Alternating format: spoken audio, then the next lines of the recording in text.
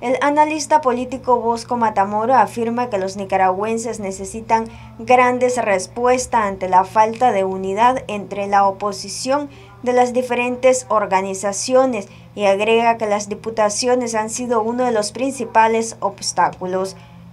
Ante las grandes circunstancias que está enfrentando eh, la oposición nicaragüense, necesitamos grandes respuestas. Es decir, por una parte una visión, por otra parte una voluntad política y tercero, ver el contexto nacional e internacional. Eh, mi impresión es que eh, el C por L ha expresado claramente su disponibilidad para estar en un diálogo que lleve a ese resultado. Ahora, mira, aquí tenemos que ser bien objetivos los nicaragüenses. Me parece que la llave que tiene cerrada esta posibilidad en gran parte es la demanda que fundamentalmente ha planteado el MRS.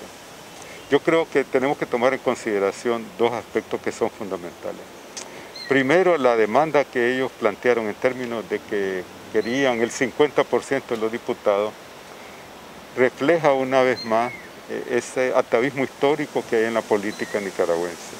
Es decir, de repartirse los cargos, por una parte, es decir, de tener el Estado como una especie de fuente de empleo y no de un servicio al país. Por otra parte, todos sabemos que históricamente el MRS ha sido altamente cuestionado por la opinión pública nicaragüense por su papel que tuvo en los años 80. Es una realidad histórica. Eso no quiere decir que se estigmatiza no un movimiento, pero en esta coyuntura que estamos atravesando, yo creo que el MRS tiene una gran oportunidad. ¿Cuál es esa gran oportunidad?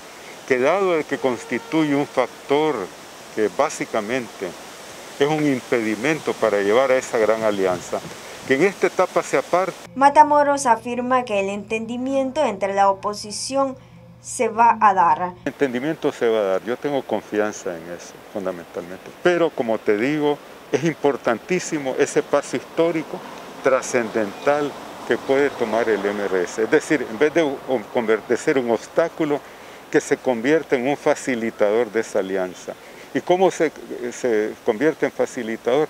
Apartándose de ese proceso para que no haya cuestionamiento. Noticias 12, Darlene Telles.